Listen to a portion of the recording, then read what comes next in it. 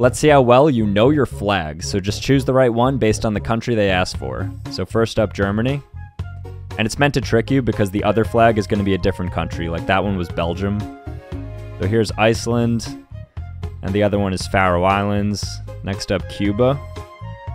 All right, this one should be easy. The other one's Puerto Rico. Good. Colombia. It'd be a tough one. This is the Americans' chance to shine.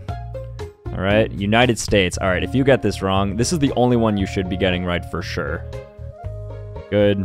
Two more. India. Is it green on top or orange on top? Gonna be orange. And then last up, Australia. One of them's New Zealand, so choose carefully. All right, well, how'd you guys do?